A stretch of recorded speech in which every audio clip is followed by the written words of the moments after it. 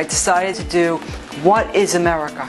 America is comfort food, bags of potato chips, bags of M&Ms, bags of cookies, boots, jeans, cowboy hat, pencils, and condiments, mustard, mayonnaise, and ketchup.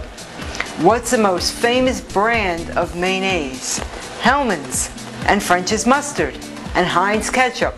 I've carved them all out of stone.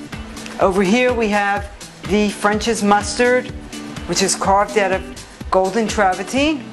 And over here we have the Hellmann's mayonnaise, which is carved out of white travertine. And I've also done the Heinz ketchup, which is carved out of red travertine.